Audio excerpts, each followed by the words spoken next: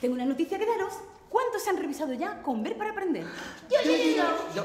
Pues recordad que la campaña termina el 11 de enero.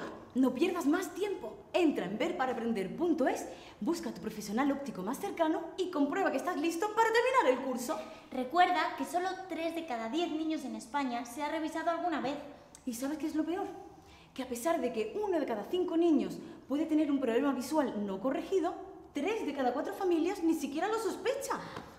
Familias, profes, revisadnos, por favor.